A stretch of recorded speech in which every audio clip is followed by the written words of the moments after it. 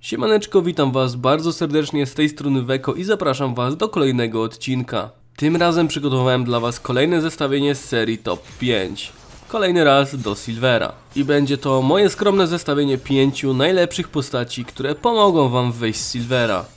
Zauważyłem, że pozycja leśnika jest generalnie najtrudniejsza na tym poziomie. Przeciętny jungler z brązu czy silvera nie za bardzo wie, gdzie ma iść, co ma robić. Dlatego bardzo często kończy się to tak, że po prostu siedzi w lesie i farmi. Nie da się ukryć, że dla niektórych postaci jest to idealne rozwiązanie. No ale w momencie, kiedy przeciwna drużyna robi barona, smoka, czy nie wiem, puszuje turet, a ty robisz wilki, no nie jest to raczej za dobre. Oczywiście nie wszyscy junglerzy tak mają, ale ze swojego doświadczenia wiem, że to jest największy problem. W każdym razie zapraszam.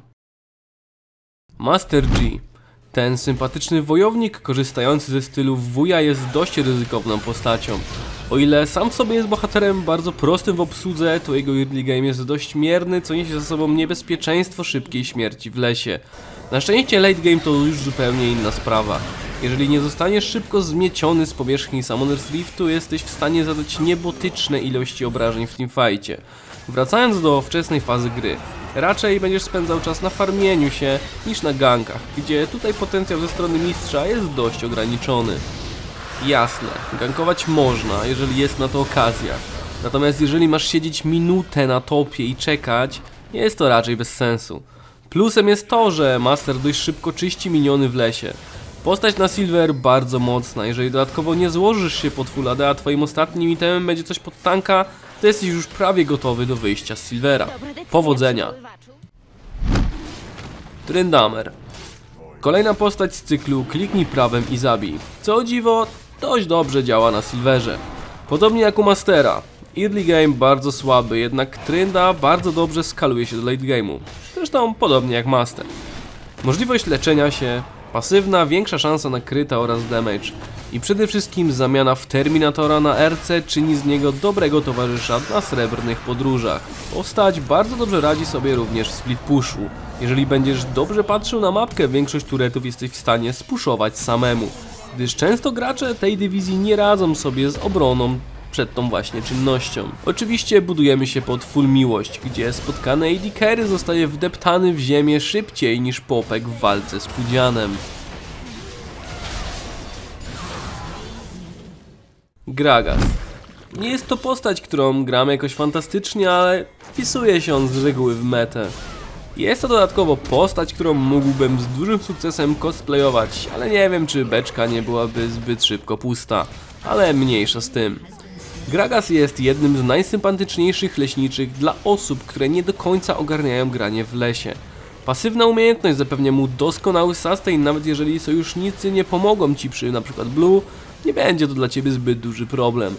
Fajne obrażenia i kontrola tłumu.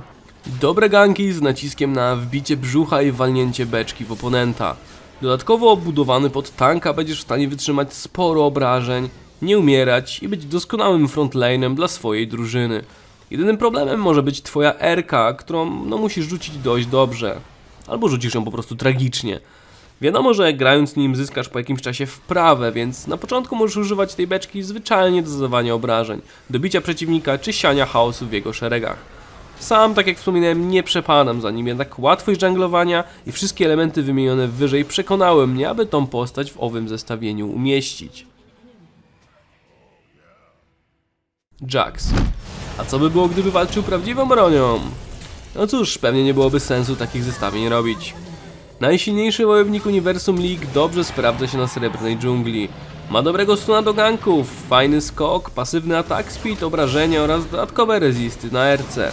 Czego chcieć więcej? No cóż, przeżyć do środkowej fazy gry. Jax to postać niezbyt silna na początku, jednak po uzyskaniu dwóch przedmiotów jest tylko lepiej. Jest to jedna z najlepiej skalających się postaci w LoLu. Bardzo dobrze radzi sobie w lesie, może być przyzwoitym tankiem i dobrym zabójcą. Gdy złożymy 2-3 itemy pod AD i resztę pod życie i rezisty, będziesz jak Lord Sidious versus dwóch rycerzy Mieszka I, którzy są uzbrojeni w ciupagi typu drewnianego oraz chronieni pancerzem typu płaszcz z wiewiórczych ogonów. Raczej ciężko wygrać z Jacksem 1v1. Jest on idealny do split pushu, co dobrze działa na Silverze, o czym zresztą już wspominałem. Dobrze zagrana wczesna faza gry, kilka ganków i masz spore szanse na zwycięstwo.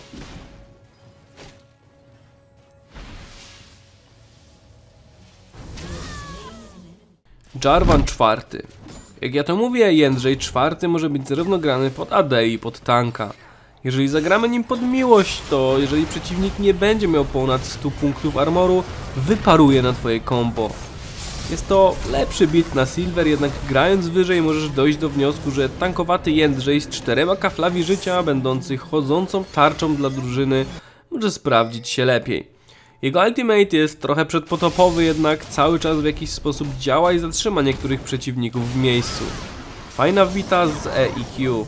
Przeciwnicy trafieni z lancy mają obniżony armor. Na E dostajemy dodatkowy atak, speed co w połączeniu z W daje bardzo fajne możliwości czyszczenia lasu. I przede wszystkim nie tracenia dużej ilości życia przy tej właśnie czynności. Co również ważne, Jędrzej dobrze gankuje. Jak trafisz combo przed szóstym levelem i jeszcze spowolnisz gościa z W, masz spore szanse na spalenie minimum jakiegoś summoner spella z jego strony. W połączeniu z Erką twoje ganki będą jeszcze bardziej efektywne.